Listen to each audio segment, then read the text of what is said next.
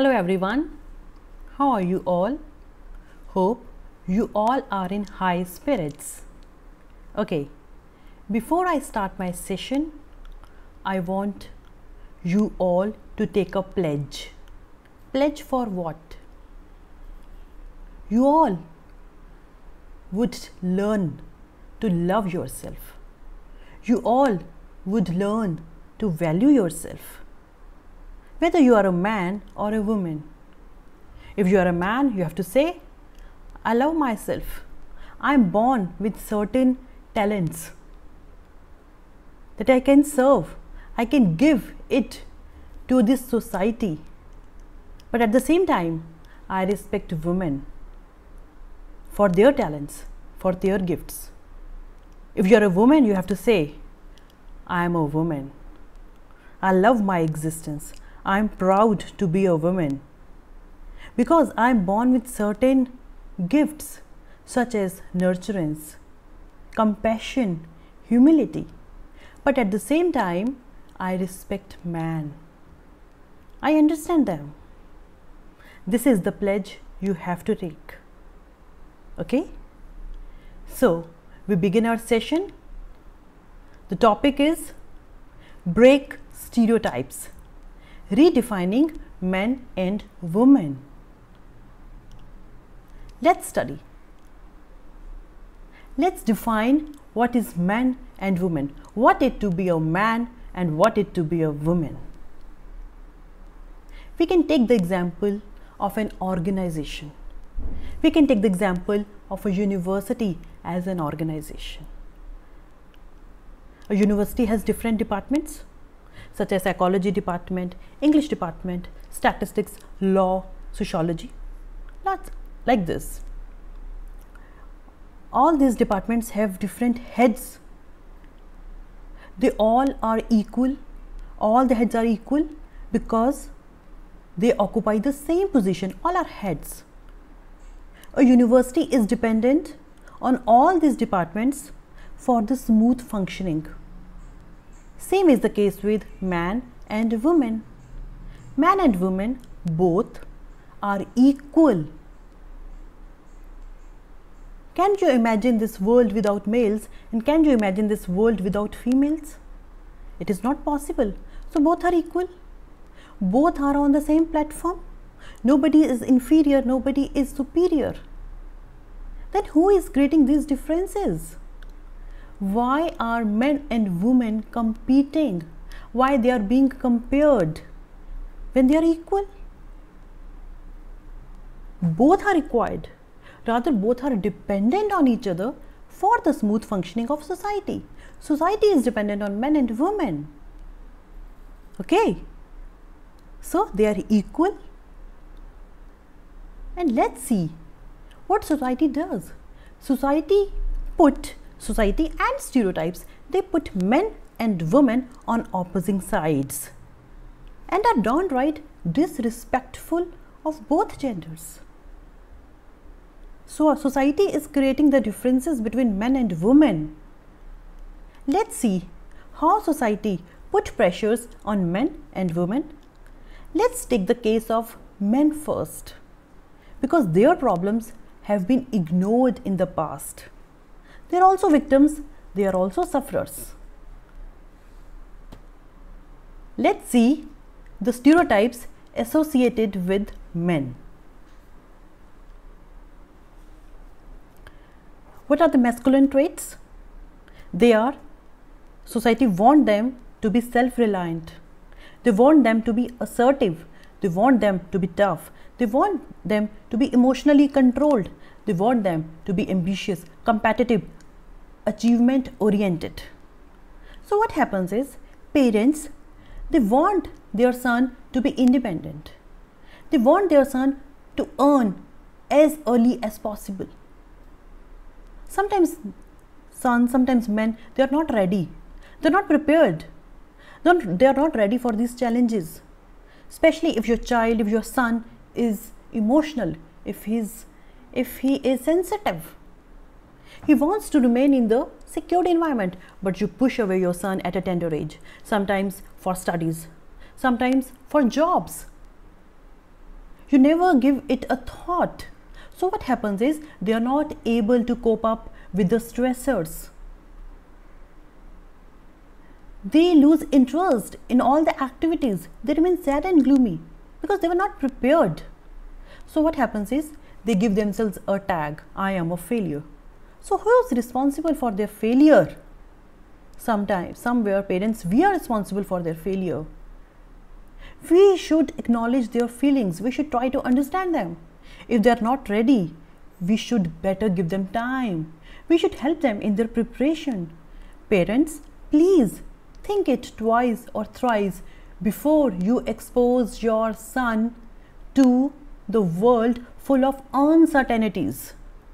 Please, this can be a big favor that you can do. Okay? Another thing, we never allow men to express their emotions freely. Society do not allow them to cry openly. Sometimes they want to cry, but they cannot cry. They cannot show their intense emotions. So, parents, we all should come together. If we all would come together, then this would become a norm. They should be allowed to express their emotions. They should be allowed to cry if they want. They also want our love, the way we love our daughters. We should, we should give them that kind of love. They also, they also uh, want that sense of touch. So, this is crucial for their health.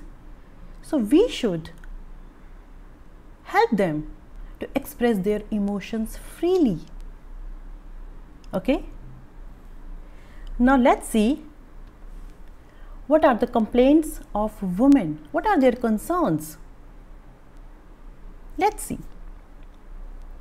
Women say, why I am a weaker sex, why this society is not safe for me, why my parents do not celebrate my birth. You have these questions, women. These are some stereotypes. What can we do? Do you want an answer? I want to tell. Your first question is why I am a weaker sex. Now, this question is baseless because I have already discussed you are not a weaker sex. Men and women are equal, they are on the same platform, they have equal positions in the society. We cannot imagine the world without males and without females, they're dependent. We have discussed. So, this question is baseless. You are not a weaker sex. There is a biological difference between men and women, that's it. Both are essential, both are crucial. Next is why this society is not safe for me. Yes, I agree, the society is not safe for you, but it is not safe for men too. Society is unjust, unsafe, unfair to everyone. If you can become a victim of sexual abuse or, an, or another type of abuse, verbal abuse, men can also become victims of physical abuse so many abuse there so many abuses are there. They can become victims. Society is is not good for anyone. So society is not safe for anyone. It is unsafe now. Predators assailants criminals psychopaths are everywhere. So it is not so it is not like that it is not safe for you. It is not safe for anyone these days. Another, why my parents don't celebrate my birth? They want to celebrate. You are their child. They are happy at your birth. But when you but during your birth, when you come in this world, some uninvited guests they creep in, they enter. Who are these uninvited guests? These are society and its stereotypes. They control your parents' thoughts they present an arbitrary or artificial explanation, distinction that is artificial between men and women. So, what happens is they snatch away all the celebrations. So, society is the main culprit.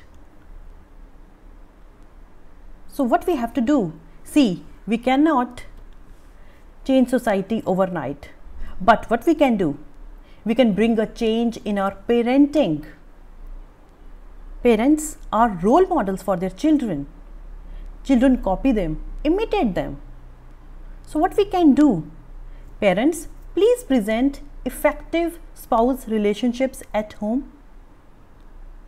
Let them see that their parents are kind and polite to each other. Let them see that their parents share household responsibilities. Let them see that their father can cry sometimes and their mother can be aggressive. She can be ambitious. Please treat your children equally, especially if you have a son and daughter. They should be treated equally. Otherwise, they would develop animosity and grudges for each other, for each gender. So, in this way, we can help, and in this way, our children they would get to know that men and women are equal, and this is what we want to convey. Okay, so now to, towards the end of our session, I would like you all to remember your pledge. What was the pledge? We have to value ourselves. We have to value our lives. We have to love ourselves. We would, we would, uh, we should respect ourselves because men and women are equal. Nobody is superior. Nobody is inferior. Okay. So, be a sovereign. Feel powerful from inside. Your lives matter. Your choices matter. Your voices matter. Lead a celebrity's life. Love yourself. Thank you.